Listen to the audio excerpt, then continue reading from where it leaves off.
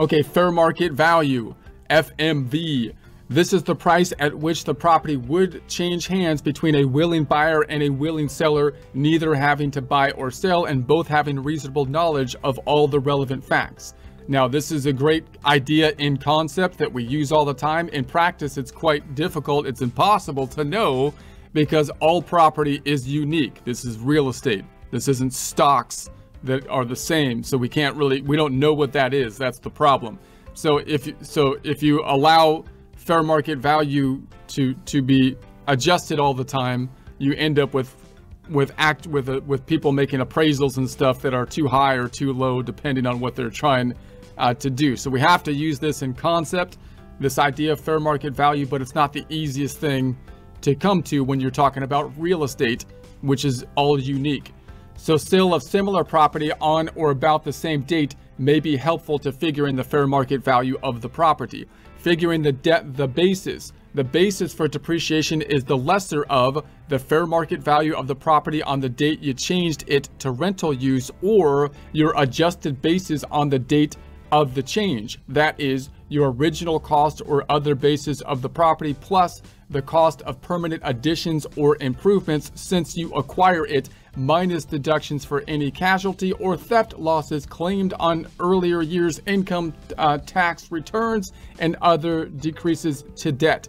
So notice that thinking about the basis of personal property like a home can be a little bit complex because unlike with rental property, we don't have to track the basis of the home as closely oftentimes. We, it'd be good to do that because when we sell the, our personal home, we might be subject to a gain and we have to deal with that at that point in time.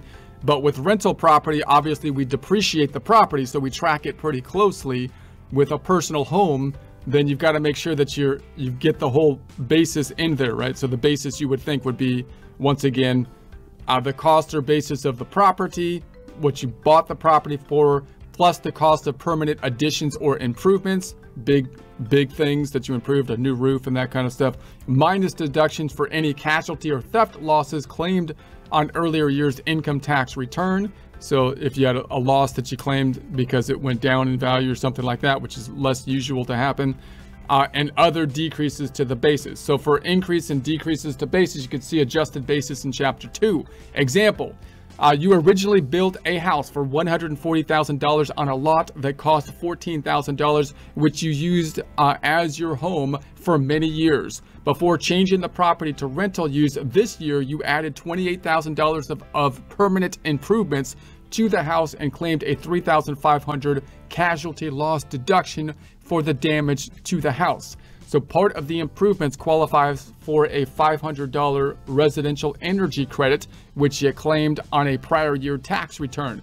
Because land isn't depreciable, you can only deduct the cost of the house when, uh, when figuring the basis for depreciation. So the adjusted basis for the house at the time of the change in its use was uh, 164,000. So we're talking about the house here. So 140,000 you built a house for 140 on a lot that costs 14,000. The lot, the land, isn't depreciable. So we're talking about the building here. So we're not adding the 14,000 as a depreciable component.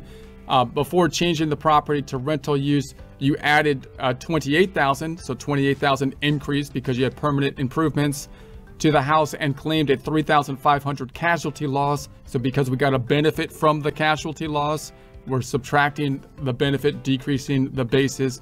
Part of the improvements qualified for a 500 residential energy credit, so we're subtracting out the credit. Okay, on the date of the change in use, your property had a fair market value of 168,000, of which 21,000 was for land and 147,000 was for the house. So the basis for depreciation in the house is the fair market value on the date of the change, 147,000 because it is less than uh, your adjusted basis of 164,000.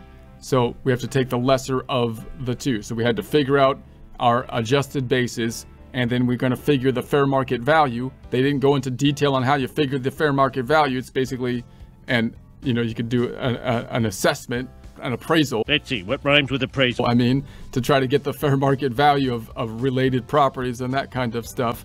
And then we're taking uh, the basis of the property is the fair market value because it is less than the adjusted basis.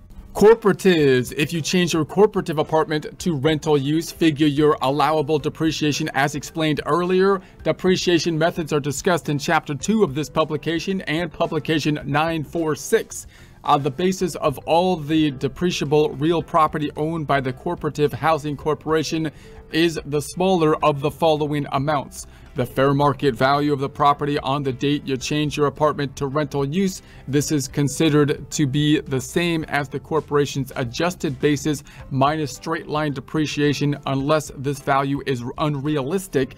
The corporation's adjusted basis in the property on that date. Don't subtract depreciation when figuring the corporation's adjusted basis.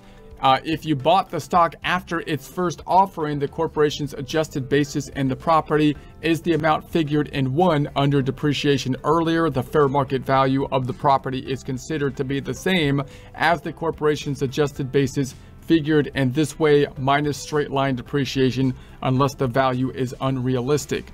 All right, figuring the, the depreciation deduction.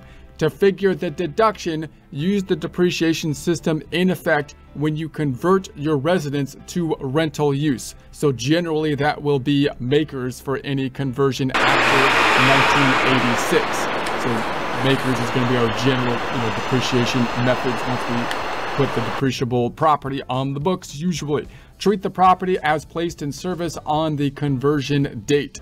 Example, your converted residence, see the previous example under figuring the basis earlier, was available for rent on August 1st. Uh, using table 22D, see chapter 2, the percent for year 1 beginning in August is 1.364% and the depreciation deduction for year 1 is 2005. So in other words, once we've determined what the, the, the amount is, the adjusted basis to put the property on the books at and the date to put the property that was converted from personal use on the books, then it's pretty straightforward in that we're, we're doing the same kind of thing we did as though we bought the property, right? Because the, the difference between purchasing the property and converting the property is the fact that when you purchase the property, you know generally pretty well when you bought it and placed it in service, and you know generally pretty well what the cost is because you just paid for it. When you're converting the property, you've got this basis situation that you have to deal with it because you bought it or inherited it or got it in some way.